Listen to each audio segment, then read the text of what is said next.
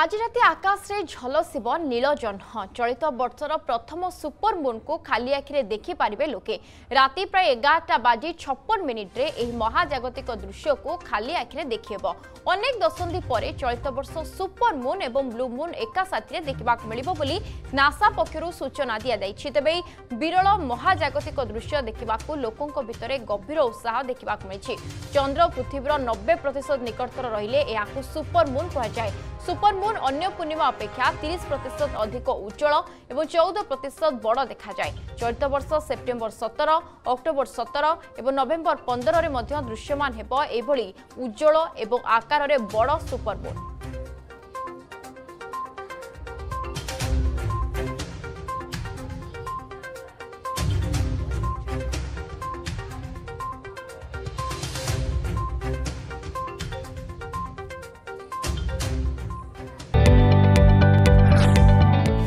जदि आपण को आम भिडी भल लगा तेब चेल चेल्क लाइक सेयार और सब्सक्राइब करने को जमा भी बुलां नहीं